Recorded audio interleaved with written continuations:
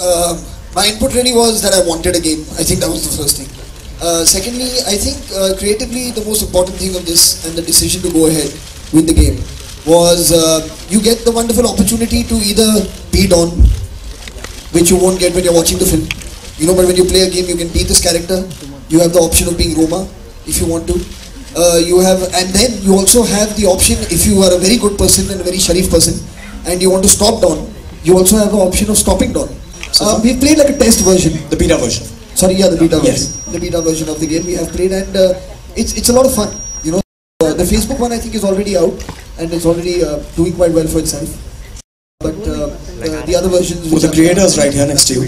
Thank you very Yeah. much.